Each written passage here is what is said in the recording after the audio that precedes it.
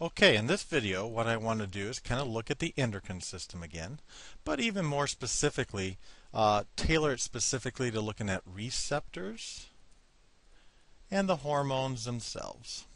So once again, we're looking at a system that puts hormones into the circulatory system, and these hormones will act on specific tissues or cells. And what I want you to kind of understand is how that can really happen. And how that does happen is by these concepts or these proteins that we refer to as receptors. And what we're going to see is hormones and receptors uh, are interrelated in the sense that the receptors are very specific for a very particular hormone. Uh, what I mean by that is hormone A doesn't act on any receptor. It's only going to act on a very specific receptor for that hormone. All right, so this is what we're kind of looking at. Uh, what we're going to run into is when we course through the blood, we're going to have our cell membrane. In that cell membrane, we're going to have a receptor. So this is a protein that is going across that lipid bilayer and what you're going to see on it, it's going to have a very specific shape. And that specific shape is going to correlate to a hormone.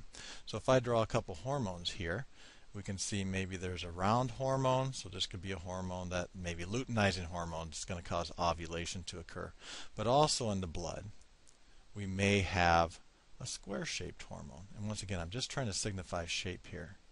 And as you can see, if we look at this, this one, when it tries to bind here, will not, whereas this one can bind to that receptor. So, as you can see, this one will not go in here. This one will. So we got a receptor hormone relationship here. So we got a specific relationship. Now this is where we come into different types. So if you remember in the overview video, these hormones can come in proteins, so they're amino acid sequences, or they may be steroid.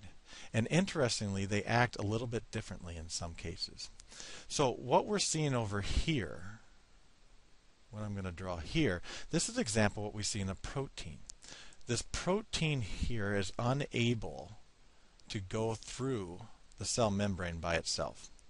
Therefore, we have to have a receptor. And another vocabulary we're going to see is this is referred to, or at least the hormone, is what we call a first messenger. So it's what's trying to give the communication. And because the binding occurs, it's going to cause a change in the shape. So if we look at this, I can draw an arrow. We're going to have a change in shape. And this change in shape is going to then cause a series, or what we call a cascade, of events to occur downstream. So once this hormone right here binds to this receptor, we will then have a certain reaction occur, and then we start to see a series of different events occur. And those events will eventually change the cell. And this can mean a couple things. Maybe this is a hormone that causes it to divide cells. Maybe this is a hormone that wants a certain gene to be made or causes a translation to occur. Maybe it just wants to activate an inactive form of a chemical that's residing in the cytoplasm. The point is, the binding of this hormone to this receptor creates a series of events that causes a certain action to occur. And we call this a second messenger system. And this is a very simple way of looking at it. But basically, the idea is the first messenger isn't able to do the job directly, so it recruits right here what we call a second messenger. Then that cascade of events occurs, and we see the change in the cell. Now, steroid hormones may be a little bit different. So, steroid hormones, if you remember, they are derived typically from cholesterol.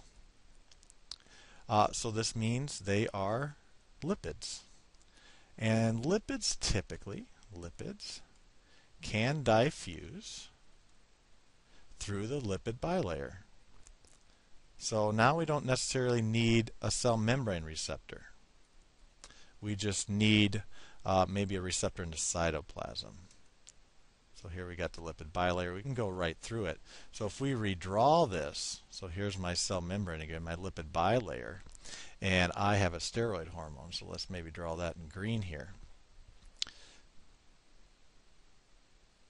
And it's goofy shape here, but the point is it can go right through the membrane.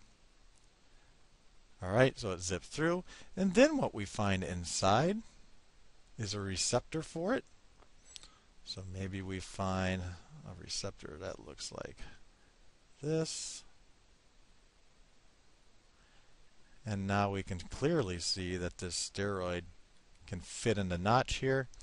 And in a lot of cases with steroid hormones, we go into the nucleus and then turn on or off genes. So once again, if we look at this real basic system, we got the receptors and the hormones. Uh, the receptors for the hormones here are very specific uh, to the hormone. In the case of a protein or amino acid based protein, that amino acid called the first messenger will bind, or amino acid sequence will bind to receptor. It recruits what we call a second messenger. And a cascade of events eventually lead to the change in the cell. So maybe metabolism, causing it to divide, number of things. A steroid hormone, what we have here, that's going to be a little different because since it's derived from a lipid, it can go right through the cell membrane. Then it usually finds a cytoplasmic receptor. So it's still got to have a receptor typically. And then once it binds to the cytoplasmic receptor, it can then move into the nucleus where it usually changes translation. So it induces or prevents transcription from occur, which means you're preventing proteins from being made or you're causing proteins being made. So hopefully that's a good overview of receptors and hormones.